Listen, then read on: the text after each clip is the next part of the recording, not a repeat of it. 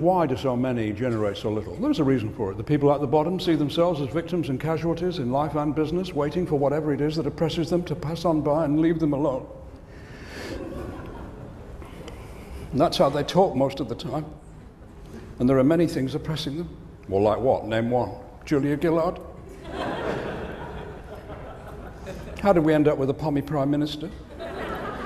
Then there was Kevin Rudd. I knew he wanted to be prime minister one day. I was just hoping it would be for one day. And then there was John Howard. How could anyone that small be a prime minister? Had a full length picture of himself in his passport. I think his family tree was a bonsai. I give up. I just don't know why they just didn't call him the prime minister and get it all over and done with.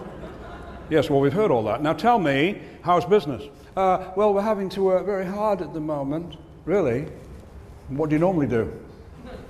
You ever heard people in business use that kind of language? having to work very hard at the moment.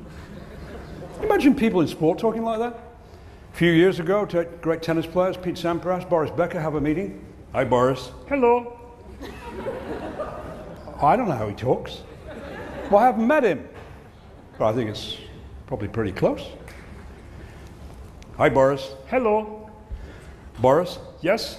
How do you feel the professional tennis circuit will be next year? I think it could be very tough but I hope it won't be. Because I'm so sick and tired of it being tough. There's only so much that a person could. They don't talk like that. They know it's going to be tough. They plan on it being tough. It can be a harsh language, the German language, can't it? No, I know because I work for Swarovski. I had to learn the language. For instance, in our vocabulary, we have a lovely word, butterfly. French word is even nicer, papillon. Do you know the German word for butterflies? Schmetterling.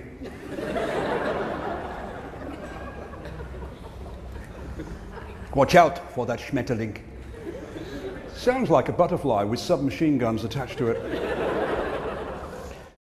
so if you come from America, Canada, Britain, New Zealand, Australia, we know where you're from because of the way you speak. So these people give themselves away. They're not even conscious of it. So they say things like, I want to get paid what I'm worth. We're not allowed to pay less than the award. I had a sales rep trying to sell me something for our company just recently. This is how he started. This is how he started. After having given me his card, this is how he started. First question. So, uh, what do we have to do to get your business? Sorry, uh, could you repeat that? Yeah, what do we have to do to get your business? That's interesting. That's a very interesting question. So you've got no ideas then? You have no ideas on how to get my business. So you want me to tell you how you can get my business. Will I be paid a commission on this sale to myself? And I found out early on in the piece that you don't have to love customers. I was asked to call on a prime prospect, a man who was spending all his money with our opposition and none with us. I went to see him. He was a gruff Yorkshireman. Started selling to him. He said, take your papers, son, because that's how they talk in Yorkshire. Take your papers, son, put them in your case, put your case in the car, get in the car with your case, drive away from here and never come back. And if you do, I'll call police and have you arrested. And now, get out. I said, Can I just say one thing before I go? Yes, but make it snappy. I said, I honestly and sincerely wish I had 50 customers just like you.